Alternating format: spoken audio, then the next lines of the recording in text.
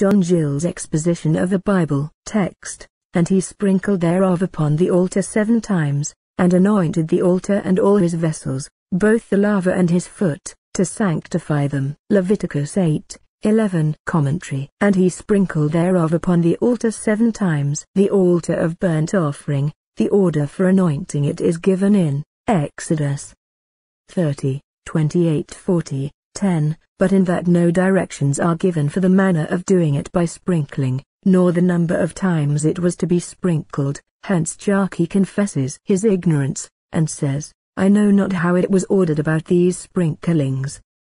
But no doubt Moses was instructed of God in what manner to anoint it, and how often, and the number seven may denote the perfect unction of it, and made it a fitted type of Christ, who received the unction of the Spirit without measure. And anointed the altar, and all its vessels, pans, shovels, basins, flesh hooks, and fire pans. Both the laver and his foot, which was for the priests to wash at, and very probably this was done before Moses brought Aaron and his sons thither and washed them. Leviticus 8, 6, since it seems most proper that it should be consecrated before used, as it follows. To sanctify them, set them apart for sacred use,